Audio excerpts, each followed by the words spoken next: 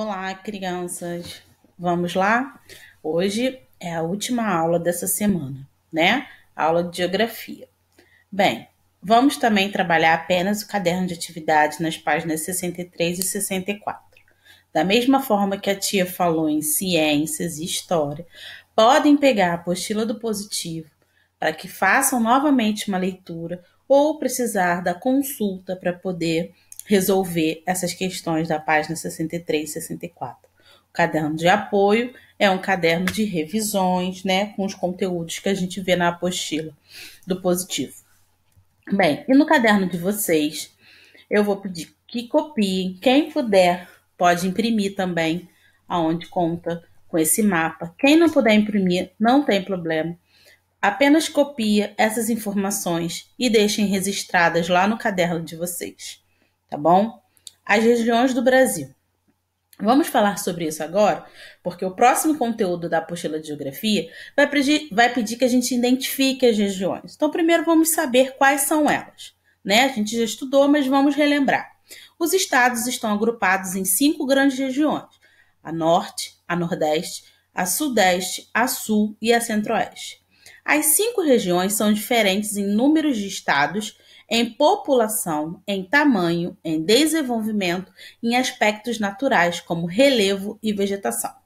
Em tamanho, a região norte é a maior, mas é a menor em população. Em desenvolvimento, é a região sudeste. A mais verde, com maior área de floresta, é a região norte.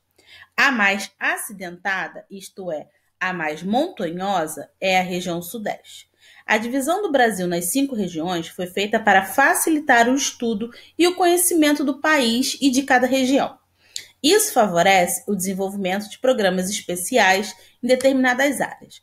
Por exemplo, os programas da Superintendência do Desenvolvimento do, Nordeste, que se chama SUDENE. Então, nós temos aí a menina com um mapa. Quem puder imprimir o mapa e colar no caderno, tudo bem. Quem não puder, não, não é que não vai conseguir identificar.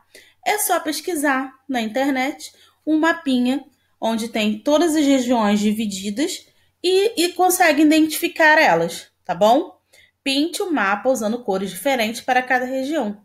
A gente vai utilizar a internet, né? Que vocês são, já são super safos e inteligentes para utilizar a internet, e vamos utilizar a internet de uma forma bem legal, pesquisando sobre as regiões do Brasil identificando elas, né? Quais os estados que pertencem à região norte, à região nordeste, o sul, o centro-oeste e a mais importante, que é onde a gente mora, que é a região sudeste, aonde o Rio de Janeiro está localizado.